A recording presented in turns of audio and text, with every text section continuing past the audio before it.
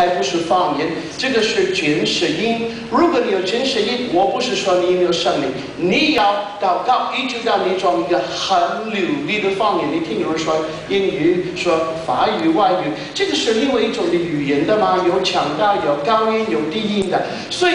别国的话语，这个是一个神迹。我好几次听过中国人用方言，然后用流利的英语。